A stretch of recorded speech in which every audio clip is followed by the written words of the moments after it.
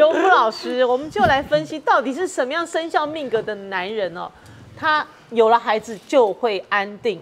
好，我想还没有小孩以前，他可能还是呃一马乱跑乱奔的哦哦一马那现在呢，马脚被绑起来了。哦哦，哦，就说他这个以生肖命格的力量来看一看，有了小孩子之后呢，他就爱家顾家，稳定下来哦疼爱小孩，疼疼爱家人了哈哎，。要用方法了，哎，能蛇堪逼啊！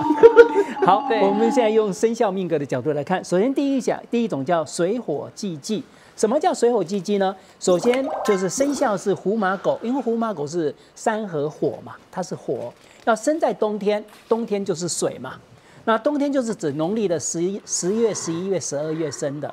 那这种呢，就是水火既济，表示它原来是火，火是什么？到处在放火焰哈，到处乱跑的意思也可以讲，就是不稳定嘛。想到火就知道它是这样一直窜的，不会稳定。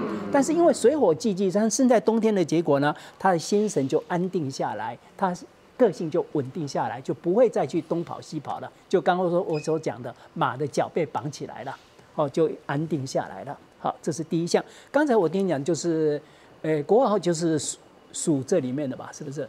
国号是属属虎啊哈属虎 OK，那第二个金石木柔，金石木柔是怎么讲呢？金就是我们讲蛇鸡牛是三合金，照说金的个性应该比较是大男人啊，金嘛你就想到很顽固、很固执。就刚讲的大男人只以自己为事，还有结婚之前就是我自己要玩什么就玩什么。但是呢，他要生在春天，那生在春天，春天的话是蛮柔和的，而且是万物欣欣向荣，就会把那种很强烈的这种顽固固执整个融化下来，让它软化下来，开始顾家了。那我这里说的春天呢，应该是指农历的二三四月生啊。通常讲一二月，但是我们知道，在我们自己的北半球，一月份真的还算是很冷，还实在很难讲是春天。所以我这里讲春天是指农历的二月、三月、四月生的。那么蛇鸡牛是金的，金跟木之间的配合，是那么他的个性就开始稳定下来，个性转柔，爱护家庭。好，这边我呢，我要接呃做个一些补充。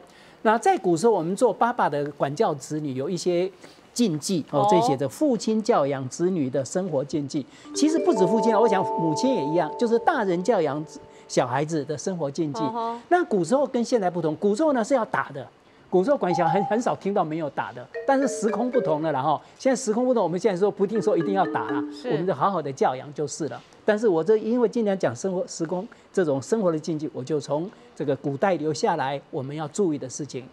好，我们就注意啊，这是指大人要注意，不是小孩子要注意哦哈。大人要注意的，第一项就是不要打骂吃饭中的孩子。哦，我们讲吃饭呢，皇帝大是嘛。是是，小孩子在吃饭中，你不要在那个时候来趁机会教训他、骂他、打他。他这个一个是生活的阴影啊。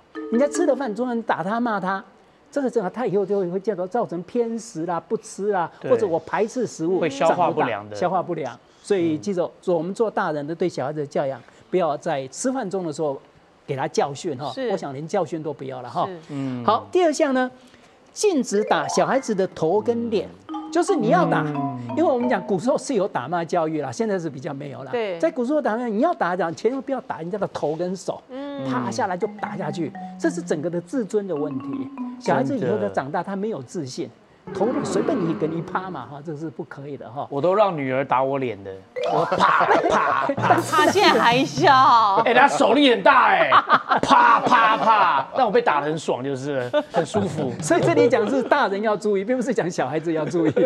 大人你不可以打他的头他。现在是心甘情愿的被打，好，第三项，第三项呢，禁止用尺来打小孩。哎，我们大人一起要打，哦随便手上抓个什么就打。嗯，结果呢，尺就是不可以，因为尺是照说是量的，是一种器具，甚至是书房里面的一些文具。你不可以用这个去打小孩，表示小孩子不会读书哦哦，小孩子头脑不会聪明的意思。难怪我这书都念不好，都被用尺打吗？小时候都有被尺打啊。应该有，照说都不应该打啦，只是说我们古时候的这个传下来的禁忌，就是我们不可以用尺打。是哦，当然也不表示其他都很好哦，其他最好都不要了。哦，好，第四项，这个我想这个自古以来都有这个禁忌，那现在当然有点不同了哈，是什么呢？尽在小孩子的面前谈到性生活，哦这个大人了。哪有人会做这种事啊？你不小心有的不注意啊，甚至骂脏话也是啊。哦对对对不对对，？这 千万不行。那现在是不行，当然现在我想也是要你也不可以啦，不过要适度的引导啦。古时候的教育跟现在不太一样嘛，古时候是完全不行的哈。嗯，好，下面第五项，禁止惊吓在熟睡中的小孩。就小孩子熟睡的时候，你不要跟他叠玩，那觉得好玩，咕叽咕叽，看他会不会笑，或者可以叫看他会不会起来，或者烧他的脚底。会 会不会很晚？千万这些都不行。我们讲，我们虽然魂魄是安定在这个脑子里面，你这样子动这些我都做它过嘞，它会失魂落魄的，哦，会真的会惊吓到，或者 这个对于小孩子的教养都是不好的。那如果我儿子睡得很熟，我去咬他的脸，这样算？基本上不要到惊吓的程度，我讲就可以了。有时候我们怎么做那么可爱，想去亲他一下，我想这会的啦。啊不要让他惊吓到，突不要然的。让他吓到。哎嗯哦，还有对了，晚上不要讲鬼故事，这个不啊。，可是因为小孩都不睡啊，所以我女儿在很小的时候，嗯我就一直跟她说，你再不睡，你看旁边的窗户，那边虎姑婆就会从那里飘过来了。她就看着那个窗户，你知道人会有一种恐惧，尤其这么小的小孩 她就看着那个窗户就，啊，好恐怖，就越想越害怕。然后我就说，那你快点转过来，妈妈这边眼睛闭起来，我保护你这样。嗯然后他现在就是，他到现在我有个阴影，就是窗帘什么都要拉得紧紧的，这都是错误的教法，好不好？哦 好了，但很有观众朋友用做参考了。嘿，喜欢我们的影片吗？赶快按这里哦，按订阅。小铃铛按下去哦，我们在这里等着你呢。